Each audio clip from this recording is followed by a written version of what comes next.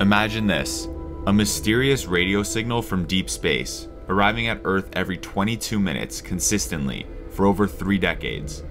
Scientists were baffled. Could it be a pulsar? A magnetar? Could it be aliens? Or something we've never seen before?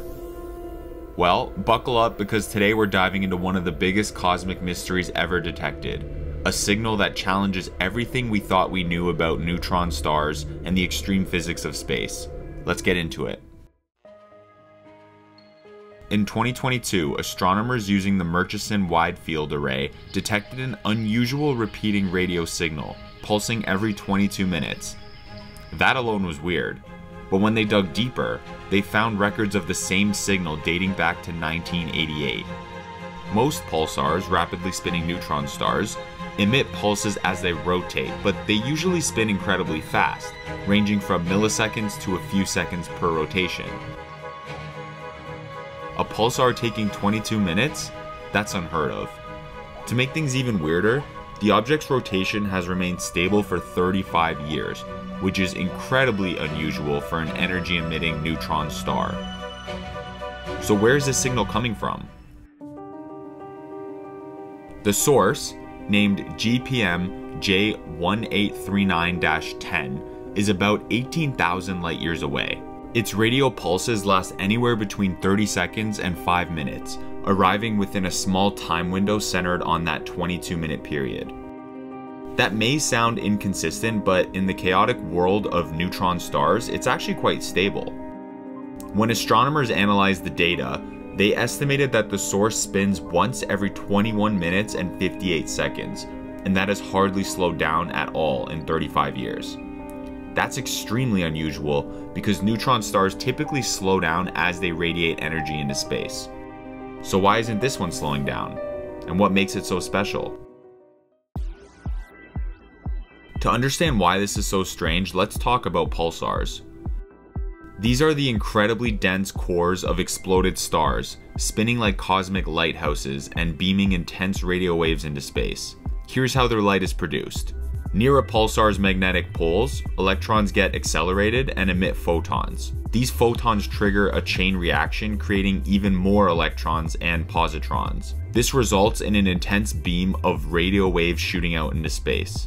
Because a pulsar's magnetic poles don't usually align with its rotation axis, its beam sweeps across space like a lighthouse, creating the pulsing effect we observe. But here's the problem. Our 22 minute signal doesn't fit this model at all. Pulsars lose energy over time, which causes them to slow down. Eventually, they cross into what scientists call Death Valley, a point where they no longer produce radio waves. Looking at a chart of neutron stars, our signal is well within the Death Valley, meaning it shouldn't be emitting any radio waves at all. And yet, here we are, detecting it loud and clear. Even the slowest known pulsars spin once per second, but this one, once every 1,318 seconds.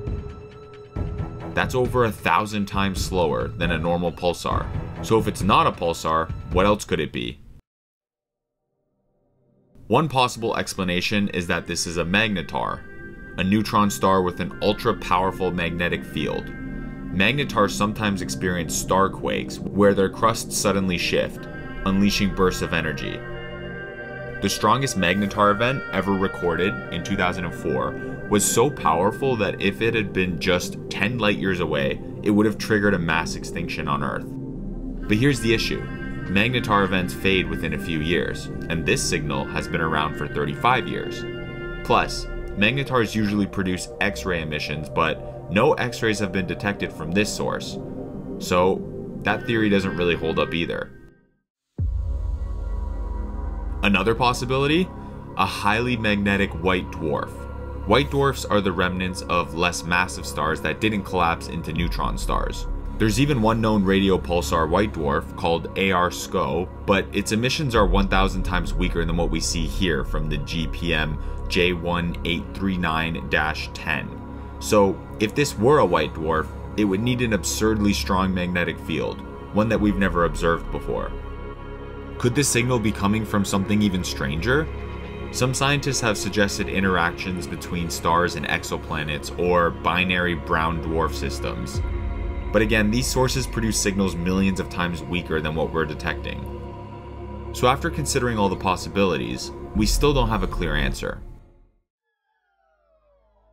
This is the best kind of scientific mystery, the kind that forces us to rethink what we know. Neutron stars are already some of the strangest objects in the universe, and yet GPM J1839 10 is challenging even our best models. And of course, we have to ask could this signal be artificial? Could it be coming from an advanced extraterrestrial civilization? While the idea of aliens is always intriguing, scientists tend to look for natural explanations first. But if we ever detect patterns, modulations, or other anomalies in the signal that suggest intelligent design, then we may need to consider the possibility that we're not alone. But what if there are more of these slow spinning, mysteriously stable radio sources out there? Scientists believe we might already have data on similar objects just waiting to be discovered. Whatever the answer is, it could lead to a brand new understanding of how neutron stars and magnetic fields work. We could be on the brink of uncovering a completely new type of astrophysical object. So, what do you think is causing this bizarre 22 minute radio signal? A pulsar breaking the rules? A super magnetized white dwarf? Or something entirely new, like an alien civilization? Drop your theories in the comments below, and don't forget to like and subscribe for more mind blowing space mysteries. Until next time, keep looking up. Thanks for watching, and we'll see you on the next one.